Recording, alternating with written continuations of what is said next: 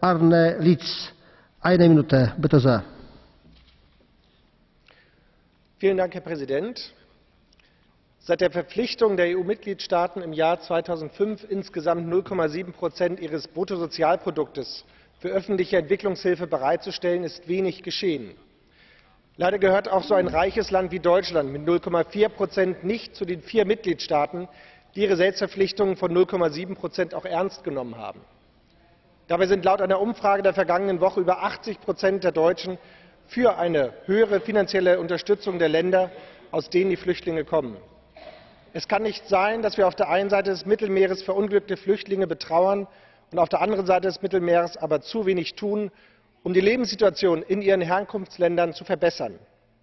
Mittel- und langfristig sollten wir das Ziel anstreben, dass die reichsten Länder der Erde, zu den vielen europäischen Ländern auch dazugehören, ein Prozent ihres Bruttosozialproduktes für die Entwicklungszusammenarbeit ausgeben.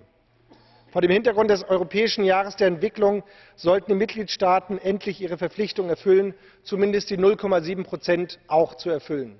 Herzlichen Dank.